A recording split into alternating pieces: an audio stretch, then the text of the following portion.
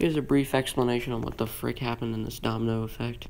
So big fingernails over here touched the domino off center and started to make the ones go left, right, left, right until it hit that big tower, knocking both sides like an intersection. That last one, on the edge stays, and then all the other ones frickin' fall over just because of my off-centered big old fingernail.